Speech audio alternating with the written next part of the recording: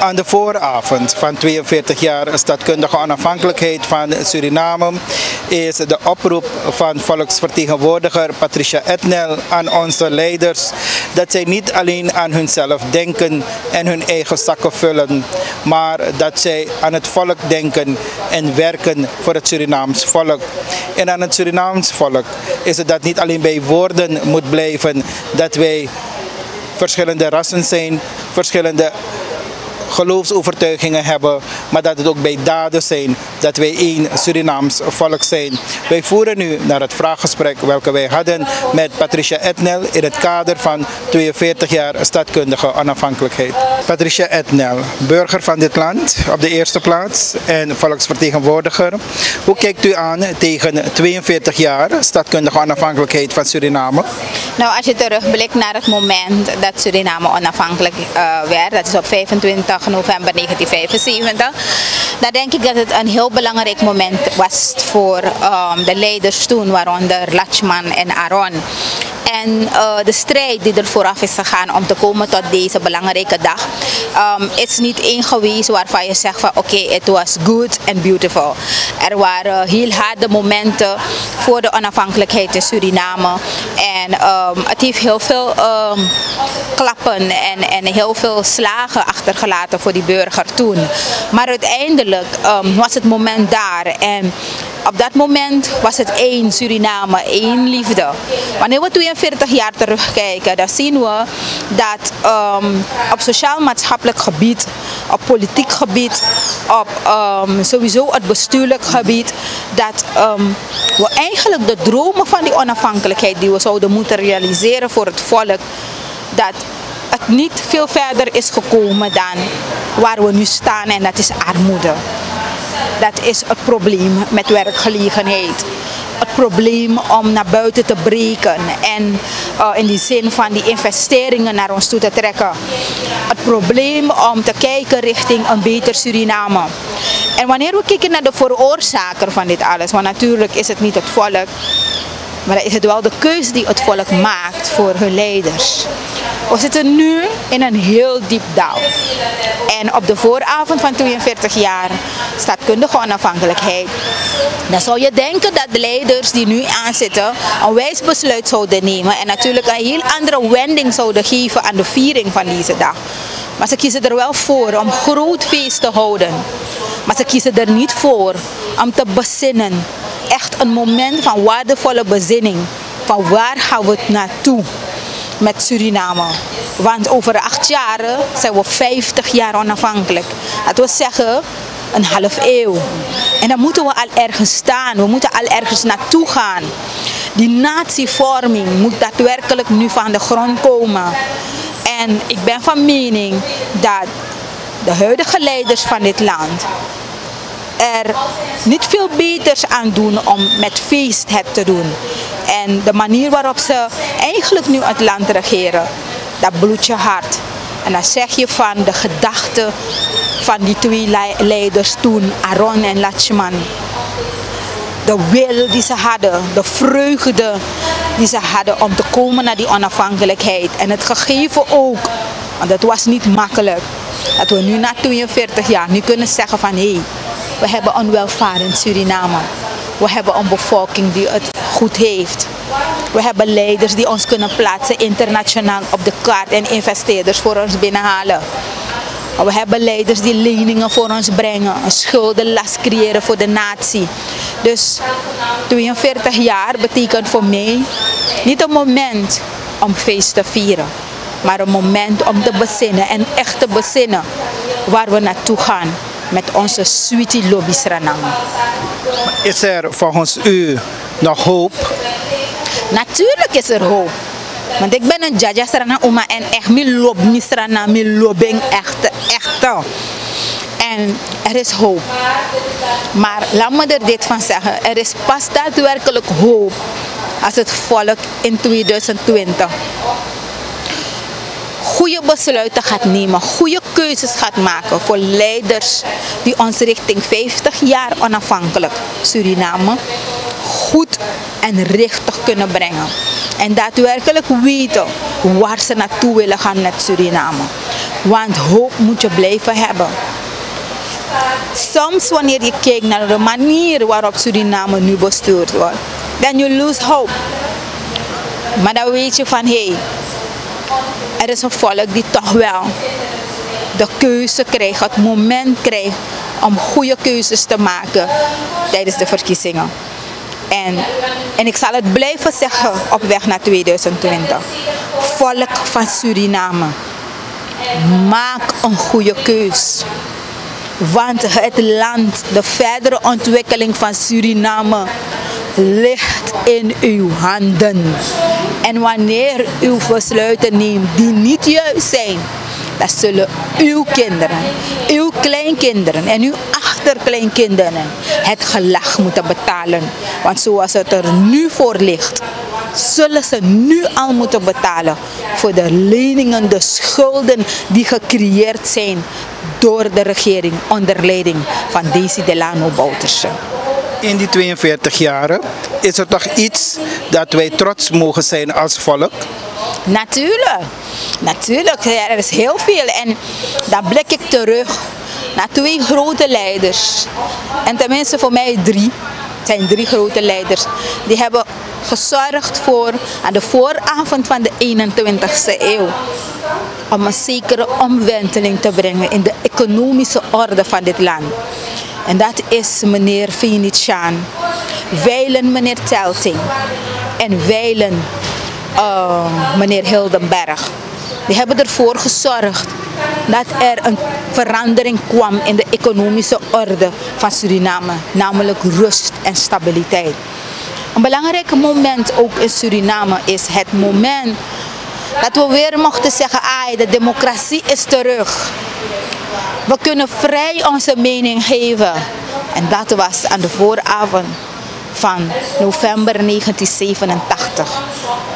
Toen wij een belangrijk hoofdstuk met zware periodes achter ons hadden gesloten. Dat was de revolutie. Want de revolutie heeft absoluut geen goede kinderen voor ons achtergelaten. Heel veel pijn en verdriet. Heel veel negatieve zaken. En we mochten dankbaar zijn dat we in 1987 weer die democratie kregen in Suriname. Weer die mogelijkheid kregen om onze mening te kunnen geven. Het was een prachtig moment. En ik ben dan heel erg trots op het feit dat we die momenten hebben gehad. Om te weten dat ze weer kunnen komen in de toekomst. Dus met deze twee momenten gaan we voort. Toch zorgen wij ervoor dat die hoop er blijft. En dat we die leiders weer zullen hebben. Zoals een Venetiaan, een Telting, een Hildenberg. De fighters toen van de, de, de eigenlijk een, een, een, een, een daal. Toch? Een, een, uh, een, noem maar op, een, een Fred Derby. Mensen, de mensen van de Organisatie voor Gerechtigheid en Vrede. Mensen die niet bang waren om hun mond open te maken tegen onrecht. Mensen die niet bang waren om te zeggen ik ga voor een beter Suriname. Mensen die niet bang waren om te vechten voor die toekomst. En alles ervoor gaven voor een betere toekomst. En we mogen dankbaar zijn toch dat die momenten er waren. Ook de momenten waarbij we konden zeggen dat die vrouw in de jaren 90 kregen we ook de nationale vrouwenbeweging.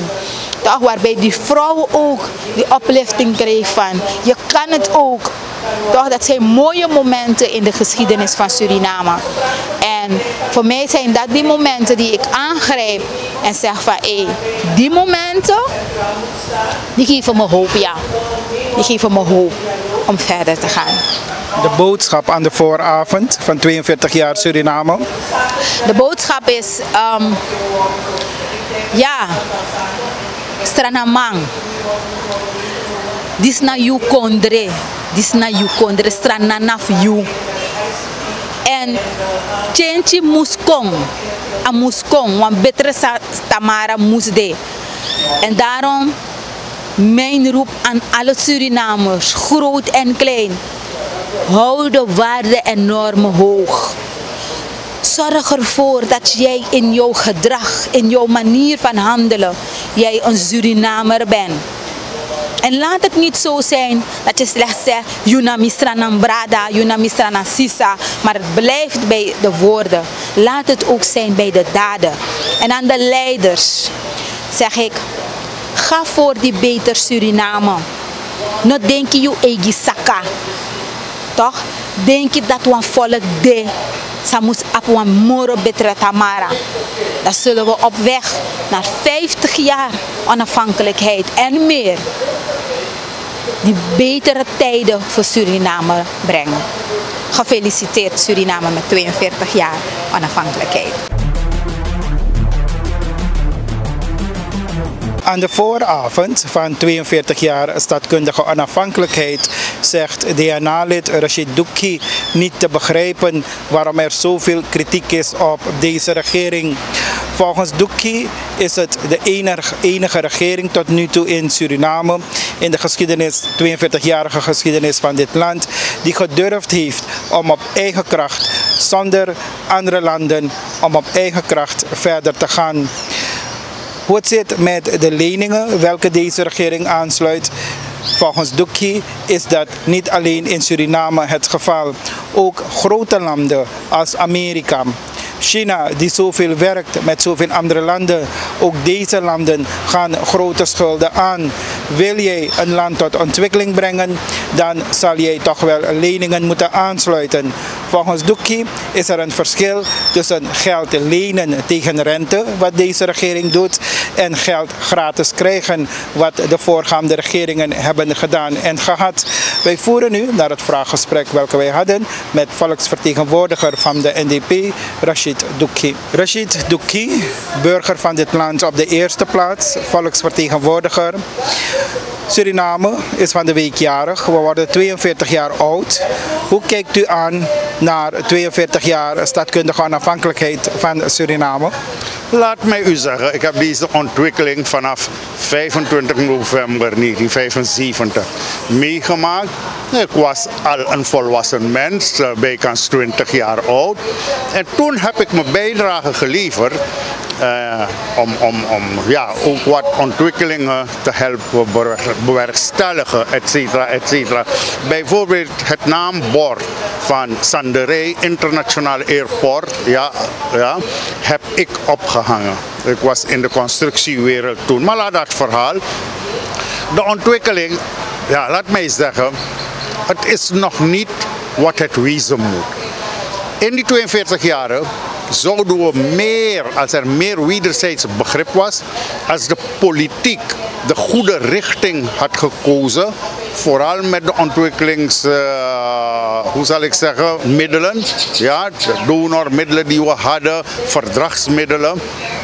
Als wij die zaken beter hadden besteed, als we betere wegen toen hadden gemaakt, de bruggen 42 jaar terug hadden, betere universiteiten en scholen, ja, ziekenhuizen, dan waren we vandaag Men heeft niet geïnvesteerd in de mens, men heeft niet geïnvesteerd in het land, men heeft in de politiek geïnvesteerd ja, in zichzelf.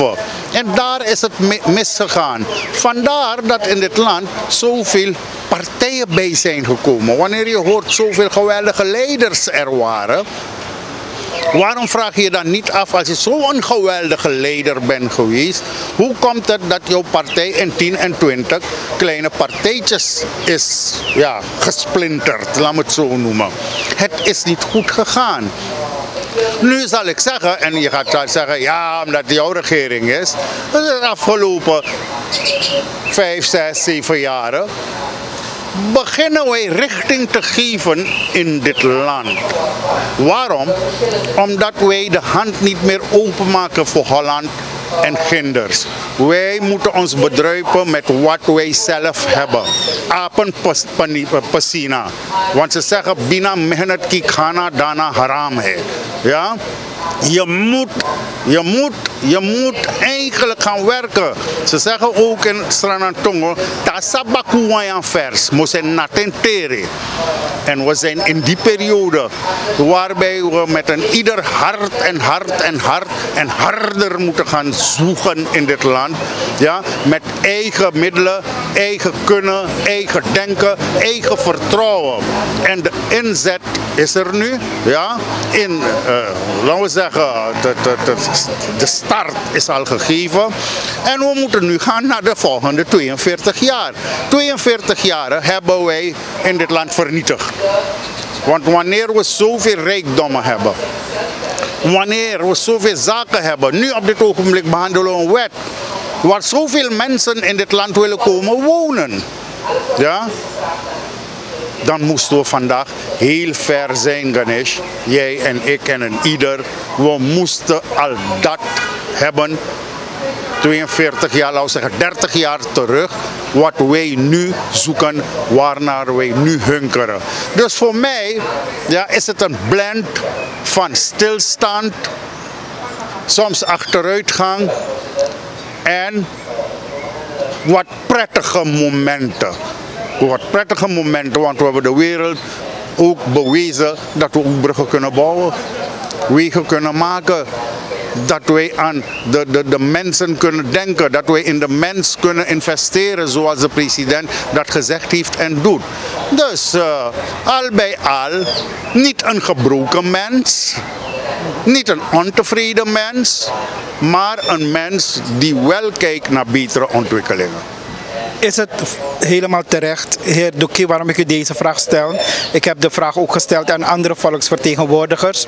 En ze zeggen, u zegt, deze regering heeft een richting opgekozen waar men probeert op eigen krachten zaken te doen.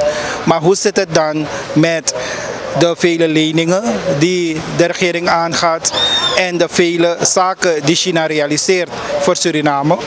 Nou, laat mij zeggen, de grootste leningen, uit de 34 leningen, zijn er 28 van de vorige regering. Ja, Venetiaanse tijd. Ik zal niet daarover meer gaan praten. Maar wat zij aan u vertellen, of niet hebben verteld, hebben ze u het, verteld, het verschil verteld tussen gratis geld krijgen en lenen. Ja? Elk mens, elke onderneming, instituut, organisatie, waar dan ook Wanneer jij niet op een behoorlijke, nette, legale manier geld leent, ga je niet tot ontwikkeling kunnen komen. Dat is één. Wanneer je tot ontwikkeling bent gekomen zonder geld te lenen, heb je gestolen. Dat doet choorheilen. Ja? Laat mij dat stellen. Daarom zijn er grote monetaire organisaties in de wereld. Daarom zijn er banken overal ter wereld. Is om te lenen. Ik ben een voorbeeld. Ik heb mijn huis waarin ik woon. Ik heb geleend bij de landbouwbank. En vandaag heb ik een huis. En zo ga ik verder. Zo is het. Dus die mensen moeten één ding weten. Zij hebben geleend. Toen we 3 punt zoveel miljard hebben gehad van Nederland, gingen we toch lenen. We hadden nog sap, we hadden nog dit. We stonden in de rij. Sis kwam, Tere en alles. We stonden in de rij voor benzine. Noem maar op. Met gratis geld. Maar nu hebben wij gratis geld niet. Aan mandat DD. Meneer Gratis is al dood, geberstaan me. Aberi, Aklari. Nu is het met eigen middelen en de rest is lenen en doen. En dat is een goede en een gezonde zaak. Want ga kijken wat de schuld is van Amerika, hoeveel miljard. China die ons leent en iedereen heeft ook schuld. Nederland, Frankrijk, Engeland. Gaat u kijken straks op internet, dan zult u het zien. Ik had het hier tijdens de begroetingsbehandeling behandeld. Ja, gaat u terug naar de cijfers. Iedereen heeft schuld. Ja? Iedereen. Ondanks ik ook een bankrekening heb met mijn eigen geld op mijn giro, heb ik toch schulden. Dus niet wanneer je geld hebt, moet je denken dat je geen schuld hebt. Je hebt geld waarmee je eet, drinkt, vrienden helpt, tankt, noem maar op, naar een show gaat, uh, een beetje gaat jagen met vrienden en vissen. Maar bij de VCB heb ik schuld. Finabank heb ik schuld, ik noem de banken. U kunt nagaan. Dus niet wanneer je geld hebt, heb je geen schuld. Alle geweldige mensen die geld hebben in dit land. Ga kijken of ze geen schuld hebben. En zo, zo werkt het. Dus je gaat moeten lenen om ontwikkeling te brengen. Wat je wel moet doen, leren terugbetalen. Wat ik ook vroeg, heer Doekie, is, is er hoop? En hun antwoord is geweest, niet met deze regering. Het volk zal een betere keus moeten maken in 2020. Nou, dit volk heeft de keus gemaakt na 60 jaar. 60 jaar geduld, ja, irritatie, terging en noem maar op. Ik heb een paar genoemd. Wanneer CIS is ontstaan. Toen ze schreeuwden, Taihori Bachau Tere. Ja, dat eten aten we. Wanneer wij in de race stonden voor back en neck kip, ondanks miljoenen, miljoenen die we hadden, de koers was anders. Eén, één Surinaamse gulden was twee Nederlandse gulden. Toch, ja, het volk is nu verstandig geworden. Ze gaan nu naar school, ze zien het verschil. En ze kunnen schreeuwen met de andere regering. Ze hebben hun tijd gehad met alles en alle, alle verdragsmiddelen en noem maar op. Ze hebben alles verknald. Ze hebben alles vernietigd. Een tijdje had je ontruimingen, mensen uit huizen, hun erven werden gestolen, zelfs begraafplaatsen, voetbalvelden, noem maar op. Denk jij dat het volk hun wil? Denk jij dat het volk meneer Sommoharjo wil? Denk jij dat het volk meneer Brunswijk wil? Santoki is al twee keren geweest, weggejaagd. Als hij respect heeft, moet hij de eer aan zichzelf houden. Dus laat men geen flauwekul vertellen aan het volk.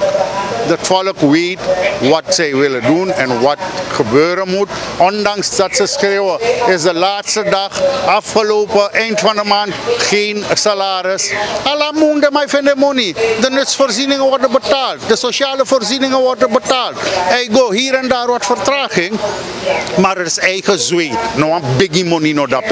Dus de mensen die met het idee lopen dat zij aan de macht komen, dan kunnen ze naar Haiti gaan. Of laten ze daar Mugabe, zijn post is vrij. Laat Santoki daar gaan.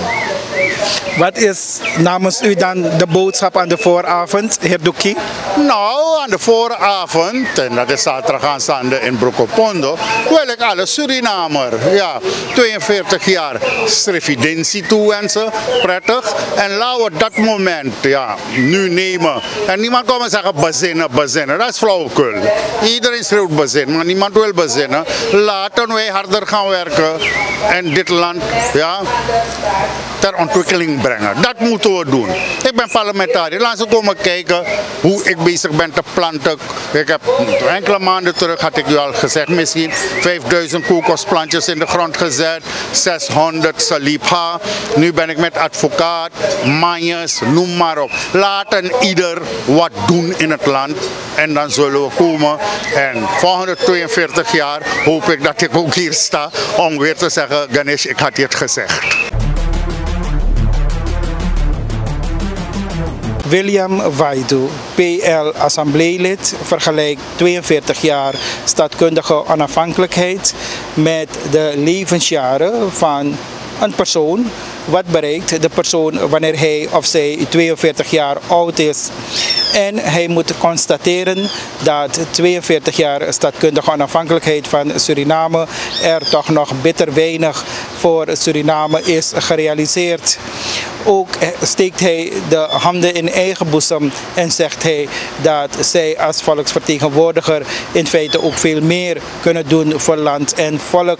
En dat in feite DNA deze regering, maar elke andere regering ook kritischer moet volgen en begeleiden. We voeren nu naar het vraaggesprek welke wij hadden met volksvertegenwoordiger van de PL, William Waidu, over zijn zienswijze en of standpunt over 42 jaar staatkundige onafhankelijkheid van Suriname. William Waidu, burger van dit land op de eerste plaats en volksvertegenwoordiger vanuit de PL op de tweede plaats. Hoe kijkt u aan tegen 42 jaar staatkundige onafhankelijkheid? Wat betekent het voor u? Nou, als burger zou ik zeggen, um, de onafhankelijkheid, ja, 42 jaar, dat probeer ik altijd te plaatsen in een leeftijd van de mens. En wanneer het wel of niet um, goed is of goed was dat we onafhankelijk zijn geworden. Het is nu niet relevant. We zijn onafhankelijk. De vraag die ik me steeds stel als burger is namelijk: wat hebben wij ervan gemaakt? Dit mooie land. We blijven steeds weer de schuld, althans de meeste mensen geven nog steeds de schuld aan Nederland. Maar ik als relatief jongere, zeg maar, in, uh, in dit mooie land, zeg, het is nog niet te laat. We hebben, niet, we hebben nog niet alles verloren, maar wanneer we niks doen, en dit is een oproep naar het volk toe. Wanneer wij als volk niks doen en langs de kantlijn blijven staan en met het idee leven dat elke regering, dat het een ding is van de regering om, om, om dit land tot ontwikkeling te brengen, dan wil ik ze allemaal oproepen. Laten we eens en voor altijd de eigen, eigen, eigen verantwoordelijkheid nemen om dit land te ontwikkelen. De burgers te verheffen, dit land te verheffen. En ik denk dat we nog niet alles hebben verloren. En hiermee wil ik zeggen dat ik zeg blij ben dat ik hier in Suriname ben. Alleen bloedt mijn hart steeds om te zien dat simpele zaken een issue is voor ons. Waar, waar, waar iets gewoon moet zijn zoals onderwijs, gezondheidszorg. Het is een issue. Je leeft in onzekerheid. En als je jezelf afvraagt, door wie wordt dit alles gecreëerd? Door onze eigen mensen. En dat doet pijn als burger. En als parlementariër op de tweede plaats geef ik mezelf ook de schuld dat we nog steeds niet kunnen realiseren wat we moeten realiseren in het parlement. Ik zit al 2,5 jaar en heel eerlijk toch zeg ik weer, ik kijk steeds weer in de spiegel en vraag me af, wanneer zullen wij in staat zijn als parlement deze regering en de opkomende regeringen kritischer op te volgen.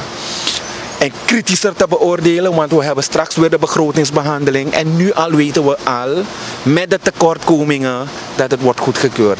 En ik kijk steeds weer in de spiegel en zeg van, is dit waarvoor wij kiezen als volk? Ja of nee? En 2020 hoop ik echt dat het volk bewust is en iedereen zoveel als mogelijk naar de stembus gaat om te kiezen wat wij denken dat wij verdienen. Want het moet niet zo zijn dat we steeds weer de schuld wijzen aan een parlementariër of aan een regering dat zij dit land gebracht hebben tot waar het tot nu toe is. Want ik geef de verantwoordelijkheid naar elk individu als parlementariër. Is er hoop en hoe? Er is hoop, zolang wij ademen is er hoop. Wij zijn als immigranten, anderen zijn, zijn, zijn nakomelingen van slaven. Wij zijn nakomelingen van immigranten. En ik blijf het zeggen, er is een reden waarom we naar hier zijn gebracht in Suriname. Suriname is niet alleen voor de Creool of Javan of Hindustan. Wij allemaal maken het Surinamer zijn. En bij deze zelf wil ik zelf de minister van Onderwijs en de regering vragen om bij alle scholen, misschien vanaf de kleuter tot de derde klas, alle talen te behandelen zodat ik de gewoonten en de normen van elk andere etniciteit kan begrijpen, zodat, ik elkaar zodat we elkaar moeten accepteren. Het is niet zo dat, we, dat jij me verplicht om Nederlands te praten en, ik, en wanneer jij Hindoestaans praat of ik Javans, dan ga ik met afkeer naar je kijken. Nee, we moeten eerst leren om elk, van elkaar te weten, zodat de acceptatie komt. En als de acceptatie er is, kunnen we elkaar meer respect geven. En ik denk dat als we dat als eerst kunnen hebben als basis, heb ik hoop in dit mooie land. Misschien maak ik dat niet mee, maar ik wil toch de basis leggen voor onze kinderen. Dat ze in harmonie en in vrede met elkaar zal moeten leven om dit land te verheffen. En op basis daarvan zeg ik, er is hoop. En we hebben een zware tak als ouders om onze kinderen die basis te geven. Uw boodschap aan de vooravond van 42 jaar staatkundige onafhankelijkheid? Nou, mijn boodschap is kort en uh, laten we geloof hebben in onze potentie. Maar meer nog, geloof alleen zal ons niet brengen. Laten we harder werken, maar meer nog, laten we verantwoordelijkheid nemen, zodat wij allemaal in de spiegel kijken en kijken wat hebben wij tot nu toe bijgedragen als collectief om dit mooi land te verheffen. En als we het antwoord hebben, dan denk ik wel dat er een verschil komt in 2020. De 16-jarige Otniel K. is op 14 november van dit jaar aangehouden door de politie van het resort Coroni voor mishandeling. De jongeman heeft op 12 november een woordenwisseling gehad met een andere jongeman. Bij die gelegenheid heeft hij middels een scherpe voorwerp de andere steekverwondingen in de buikstreek toegebracht. Het slachtoffer is per eigen gelegenheid overgebracht naar het streekziekenhuis in Nikeri, alwaar hij voor enkele dagen ter observatie was opgenomen. Otniel hield zich twee dagen schuil voor de politie en is hij op 14 november aangehouden. Na afstemming met een lid van het Openbaar Ministerie is de tiener ingesloten.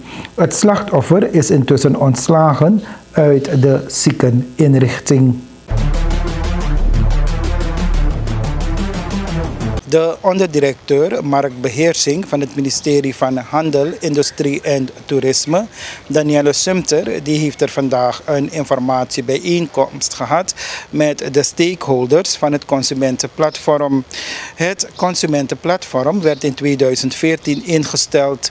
Het ministerie van Handel, Industrie en Toerisme heeft getracht door het instellen van een consumentenplatform een beter zicht te krijgen omtrent consumentenplatform consumentenissues die zich in de maatschappij afspelen, als ook het betrekken van relevante stakeholders in het platform voor een optimale informatieuitwisseling onderling en de gezamenlijke aanpak van consumentenissues. Wij van TBN Prime Alert hadden een vraaggesprek met Sumter na afloop van de informatiebijeenkomst en zij vertelt over het groter doel van deze bijeenkomst. Onderdirecteur Marktbeheersing Danielle Sumter, jullie hebben vandaag een bijeenkomst gehad hier op het ministerie zelf. Kunt u uitleggen waarover het allemaal ging en met welke stakeholders er allemaal vandaag deze bijeenkomst is gehouden? Uh, ja, uh, we hebben de bijeenkomst gehouden omdat wij een, uh, een MOU aan het initiëren zijn. Um, in 2013 is de afdeling Consumentenzaken opgericht. Het moment waarop de afdeling is opgericht, hebben we ons gecommitteerd eraan om de Consumentenbeschermingswet te concipiëren. Uh, als gevolg daarvan moesten we inventaris maken van stakeholders al deze stakeholders zijn daar gehoord, ze mochten hun feedback geven. Maar wat we merkten was dat er behoefte was aan uitwisseling van informatie op frequente momenten. Daarom hebben we in 2014 dan officieel een consumentenplatform ingesteld. Je hebt dan verschillende instanties. Je hebt de districtsbesturen, je hebt verschillende ministeries. En de meest belangrijke ministeries in deze zijn Volksgezondheid en LVV bij ons. Dan heb je de financiële instellingen. Je hebt uh, de nutsbedrijven, telecommunicatie, elektriciteit.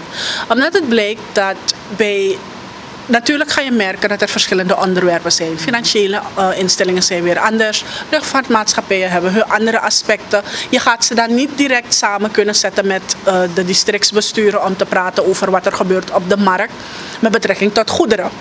Dus zo zie je dat er verschillende clusters zijn met betrekking tot uh, onze consumentenplatform.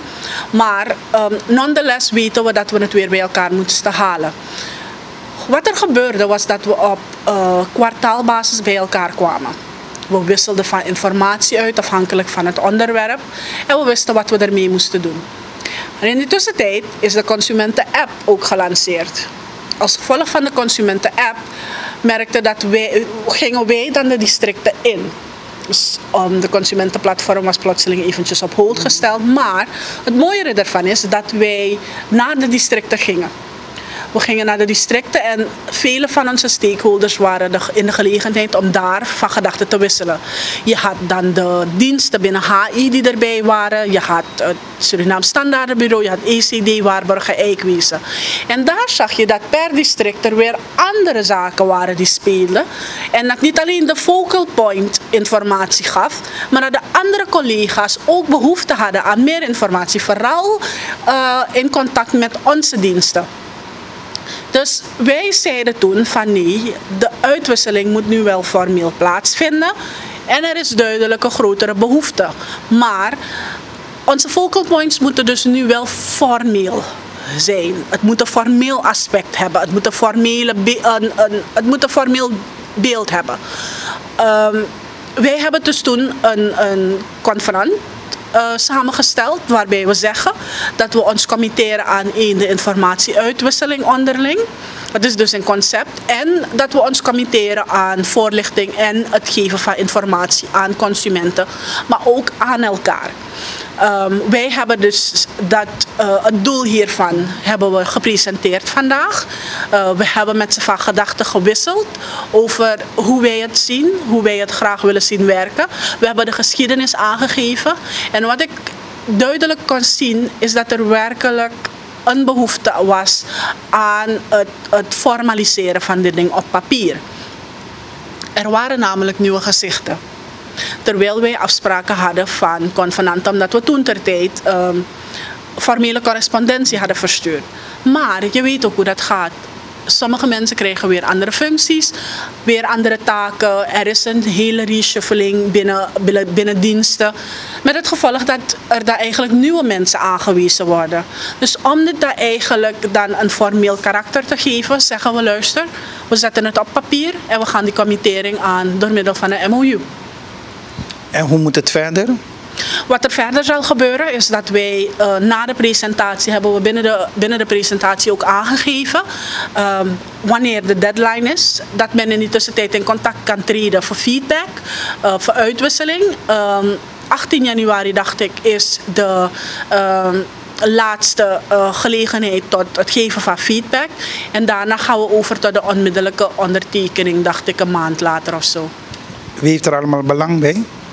Nou, um, de meest, eh, de, um, het, meest um, uitstekende dat ik kan zeggen uh, van een, een, een stakeholder is dat de consument.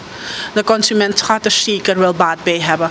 Maar het is voor ons als verschillende instanties die allemaal enige betrekking hebben met betrekking met, enige betrekking hebben met consumentenbescherming. Wij gaan er baat bij hebben. Omdat bij de uitwisseling van informatie we zien wat er gebeurt binnen de markt. Waar moeten we ons op richten? Wat moeten we doen? Waar heeft men veel hulp veel meer hulp nodig. De NGO's waren hier ook aanwezig. Die gaan op hun manier ook wel ervoor zorgen dat ze zich ook wel eraan committeren. Omdat zij ook wel issues hebben waar ze uit moeten komen. Um, we gaan dan samen zitten en we gaan kijken hoe we deze zaken het best kunnen realiseren. Met aan het eind dus um, de consument die er daar eigenlijk baat bij heeft. Ja, kunt u dat middels een voorbeeld staven hoe de consument er baat bij zal hebben? Oké. Um, wat je dus bijvoorbeeld, um, neem een voorbeeld aan de financiële instellingen. De financiële instellingen hebben dus bijvoorbeeld iets waarbij je soms hebt dat de informatie niet duidelijk is. Als men of een lening moet hebben of wat dan ook. Wij krijgen sommige van deze klachten of telefonisch door of wij krijgen ze via de app door. Het maakt niet uit hoe of wat we verwerken, alles in onze app. Wanneer wij dat dus onderling bespreken met de financiële instellingen, worden die dan op de hoogte gesteld. Zij weten dus precies hoe of wat zich veranderen met betrekking tot het beleid, hoe of wat ze nog meer informatie moeten geven en hoe ze dat moeten aanpakken bij de consument. Wij op zich weten dan ook van luister nou, wij moeten ons veel beter gaan concentreren op één, ervoor zorgen dat de wetgeving optimaal werkt, dat zowel de financiële instellingen als de consumenten goed genoeg beschermd zijn wat de informatie betreft. Maar wij moeten dan ook wel ervoor zorgen dat we de informatie geven aan de consumenten. Dat we ze zeggen van luister nou, de financiële instellingen geven aan dat dit en dit en dit moet gebeuren. En dat je jezelf op de hoogte moet stellen ervan. Wees dus alsjeblieft geïnformeerd hierover. Dat is dan eigenlijk een ander voorbeeld. Een ander voorbeeld is dat je merkt dat vanuit Eén, project dat um, was, um, was uitgestoken was dat het ministerie van LVV als stakeholder toen ter tijd issues had met hun pesticiden. Zij hadden dus uh, om hulp gevraagd om veel meer informatie um, naar buiten te brengen bij de consumenten. Maar dat alle instanties die het veld opgingen eigenlijk meehielpen bij deze campagne. Het was dus een campagne waar we één informatie zouden geven aan de mensen. We hadden zoveel als mogelijk alle mediahuizen dan erbij betrokken. We hadden flyers gecreëerd ervoor. Maar we zijn ook met de districtsbesturen, samen met ECD en Warrenbarge Eikwezen, zijn we het veld op gegaan. BOG was er ook onderdeel van. Het Surinaam Standaardenbureau was er ook uh, als onderdeel van met betrekking tot etikettering. En we hebben dan gezamenlijk hebben we aangepakt waarbij we merkten dat sommige pesticides en herbicides gewoon in supermarkten verkocht werden, terwijl dat niet mag. De wetgeving en de regelgeving zegt er moet een aparte ruimte zijn. Los daarvan zijn er sommige verboden producten um, aangetroffen. Dat was dus eigenlijk een van de voorbeelden van deze samenwerking. We konden dan optimaal van, uh, van gedachten wisselen, de informatie met elkaar uitwisselen en dan een gezamenlijke werken naar een gezamenlijke aanpak. Eigenaren van twee handelszaken in het resort Munder deden aangifte van diefstal uit hun winkelzaken. Tijdens het onderzoek van de politie kwam Kenneth S. alias Mooie in beeld. De verdachte is op 9 november van dit jaar opgespoord en aangehouden. Na afstemming met een lid van het Openbaar Ministerie is Kenneth ingesloten. Op camera beelden is te zien hoe de verdachte de inbraak heeft gepleegd. Kenneth heeft meermalen via de spijlen van de winkelzaak zakken rijst gehengeld. Hij doorboorde de rijstzakken met een PVC-pijp, ving de rijst in een bak op om die vervolgens in zijn zak die hij had meegenomen over te schenken. Zodra de rijstzak leeg was, pakte hij die met zijn hengel omhoog en kon op die manier een hele zak rijst wegnemen. Kenneth is een bekende van de politie. Het Surinaamse Rode Kruis die houdt in de periode van 27 november tot en met 2 december een campagne onder de naam Wees een Held.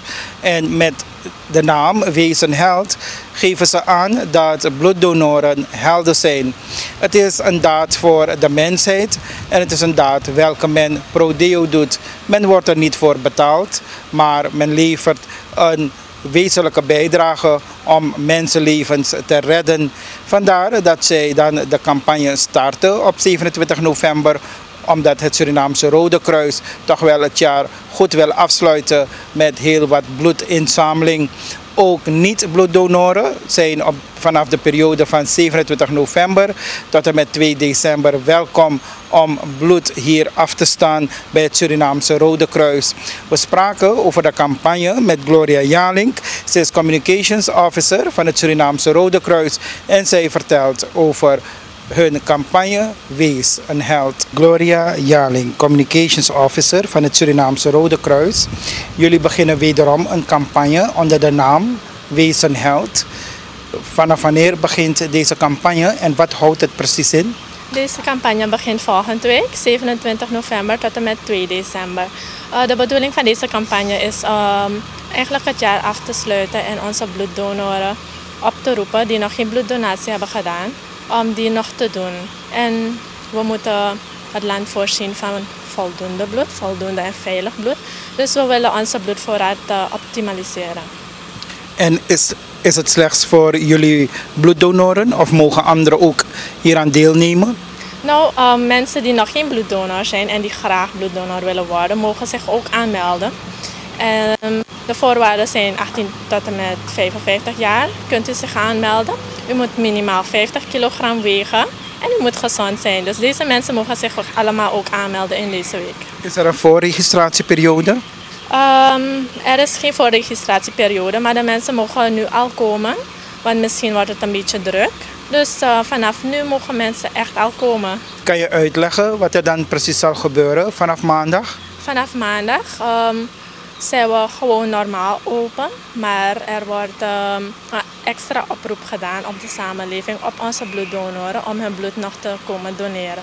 Dus samen eigenlijk het jaar afsluiten voor 2017. Ja. De bloeddonoren komen hier binnen. Wat gebeurt er verder? Um, de bloeddonoren, de bestaande bloeddonoren, komen hier binnen. Ze checken hun salie. Als hun salie in orde is, dan staan ze 450 milliliter bloed af. Wat is jullie target voor de komende week? Hoeveel mensen hopen jullie binnen te krijgen tijdens jullie campagne Wees een Held? Tijdens deze campagne rekenen we op 40 tot 50 donoren per dag. Dus uh, we doen een beroep op de gemeenschap om zich aan te melden. Waarom de naam Wees een Held?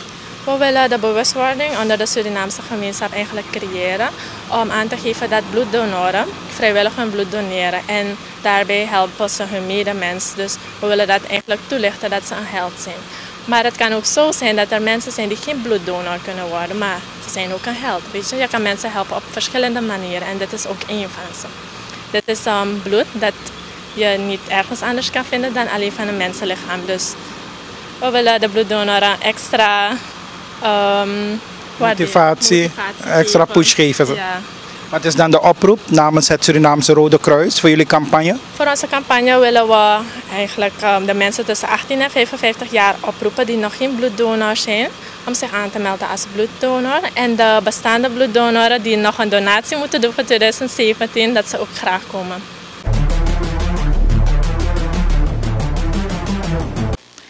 Kunstenaar Rahid Abdul.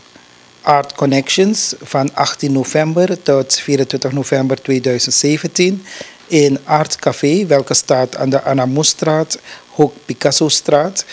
De naam Art Connections, waarom? Nou, het is uh, eigenlijk uh, de nadruk hebben we gelegd op de connectie.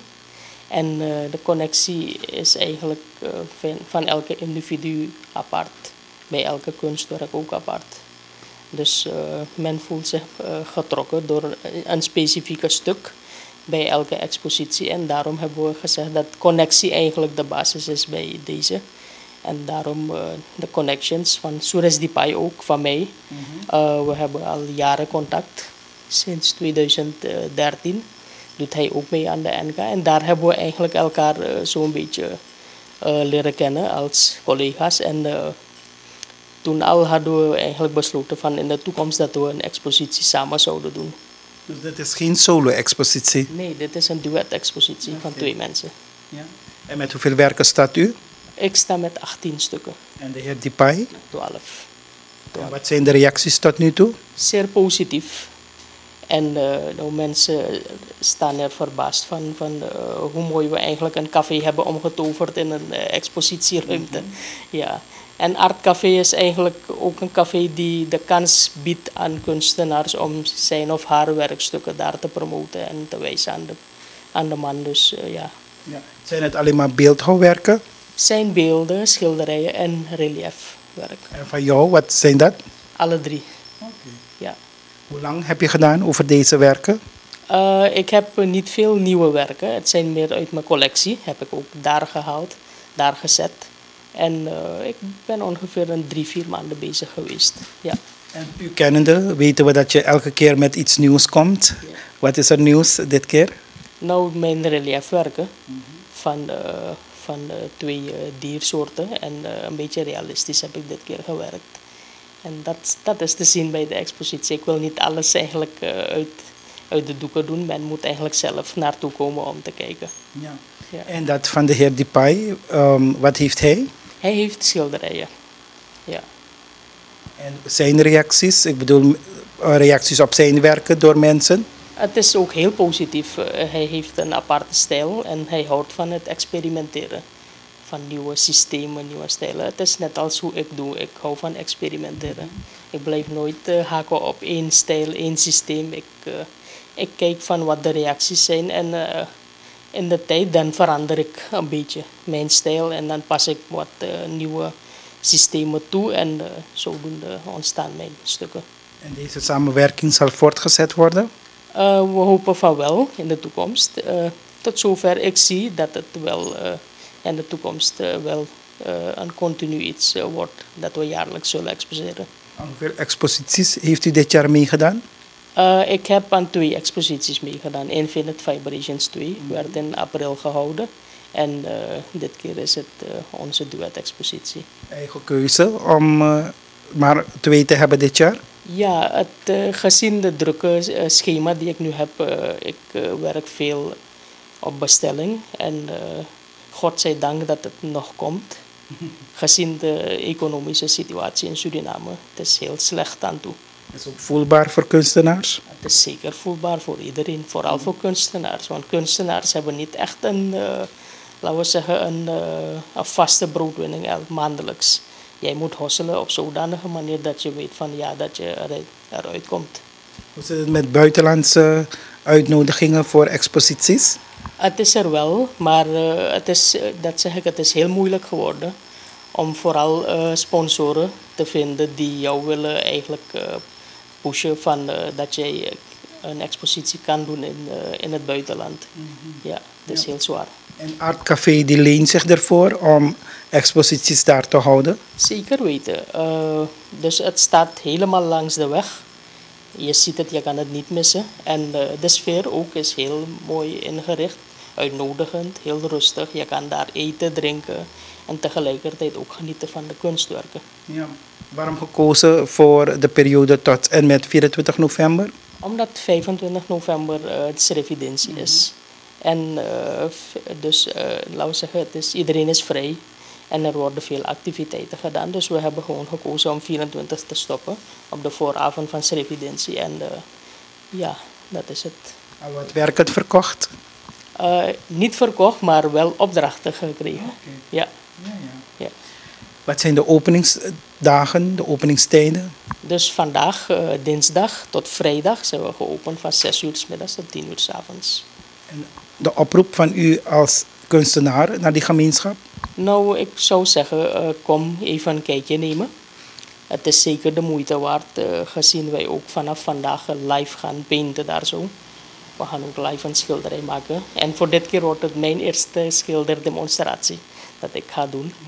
Ja, ik heb al eerder beeldhouwen gedaan, reliefwerken. Klei van Rabindranath Tagore heb ik een uh, borstbeeld ge ooit gemaakt. En dit keer wordt het schilderen. Ja. Het is nu aftellen naar het nieuwe jaar. Welk, met welke plannen hoopt u het nieuwe jaar binnen te stappen? Nou, voor dit jaar heb ik, uh, moet ik sowieso een aantal stukken afronden. En uh, mijn wens voor 2018 is dat men eigenlijk nu wakker wordt van wat men eigenlijk aan het doen is. Economisch uh, zie ik dat, dat men gewoon achteruit gaat. Mm -hmm. Je verdient hetzelfde wat je eigenlijk tien jaar terug verdiende. En de uitgaven zijn verdriedubbeld. Dus uh, ik hoop dat men meer uh, gelegenheden creëert voor ons, vooral als artiesten. Dat wij een, dat wij, een gegarandeerde brood hebben. En u zei het al, u hebt heel wat bestellingen binnen. Komt dat meer van individuen? Komt het van buitenlanders? Komt het van bankinstellingen? Want die zijn toch vaak genoeg jullie grootste klanten? Ja, het komt meer van individuen en uh, uit het buitenland. De meeste zijn van het buitenland. Ik weet dat bij uw werken religie ook een zeer belangrijke rol speelt. Is dat ook uh, bij uh, de Art Connections? De Art Connections is, we hebben het buiten gehouden. Gewoon dus vrijgelaten. Niet echt religie gericht, maar dit is gewoon echt...